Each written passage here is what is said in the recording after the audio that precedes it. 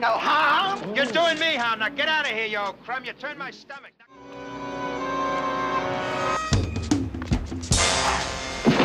That makes three victims in four months. The MO is a killer who strangles disadvantaged men who ride the bus from the beach at night. This is not exactly an assignment I'm looking forward to. When did you see him last? Four months ago, where I was working. Freddie's. Uh, it's a disco. I see. That's a dollar. You know, salami's gone up from 80 cents to a dollar since I've been standing here. It's whatever the market will bear, right?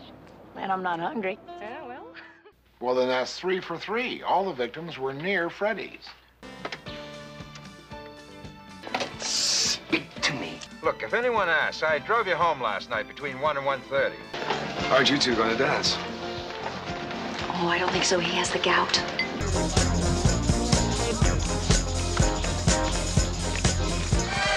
You should give lessons. I do. When do you play? I'm playing. I'm playing. Pop, Kris Munroe.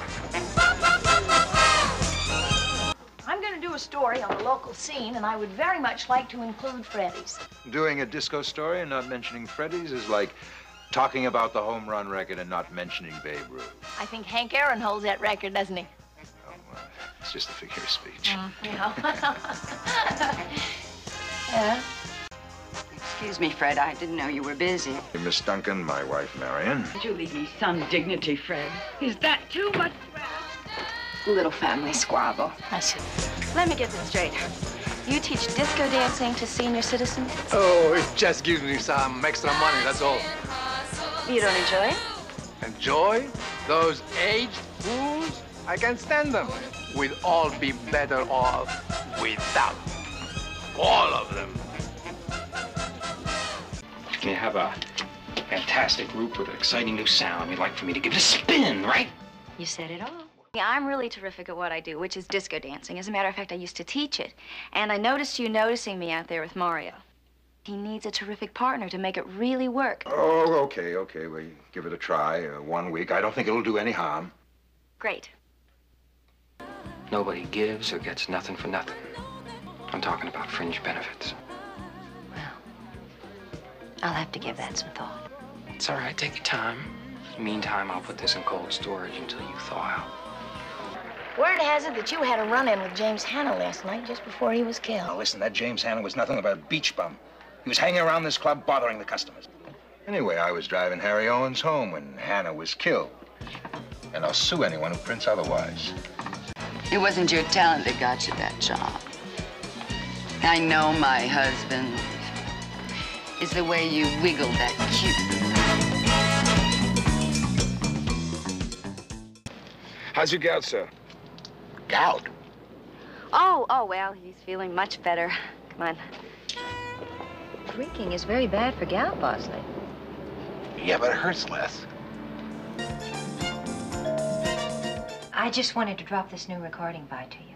Sure, come on in, relax, have a drink. We have plenty of time. Besides that, you could do me a favor. My car is broken. I wonder if you could drop me off at the club. All right. Well, then, come on in, sit down, relax. Harry here. I thought you should know there's a chance my wife has hired some detectives to check up on me. That girl that's been hanging around your booth could be one of them. I think you'd respond a lot better to firm hands. A lot better to tougher. Hey, hey, hey! You'll do just fine.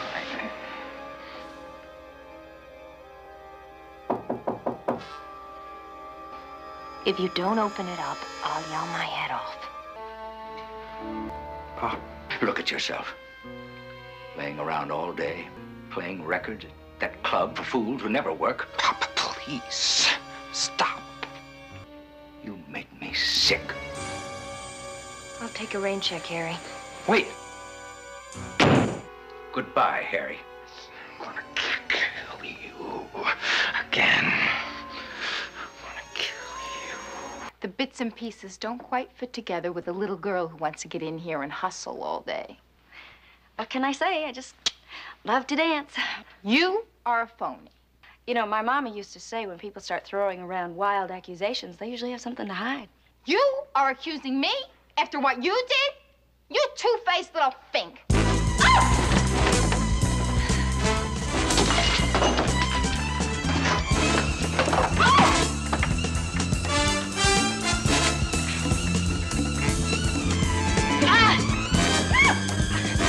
Stop it.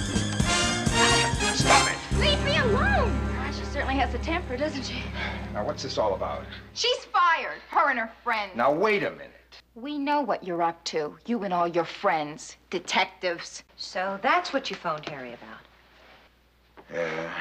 Yeah, I felt that Harry should be warned that you and your friends are working for my wife. We are detectives, but your wife is not our client.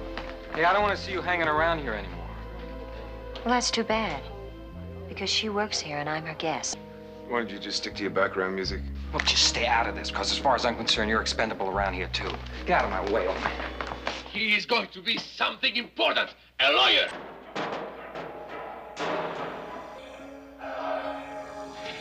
Did you find Harry? No, and Mario's father isn't here either. Or are you suggesting that Harry has transferred that anger to uh, other men, older men? Men that remind him of his father? Maybe Mr. Montero took the bus. He had to come this way. The parking attendant saw him.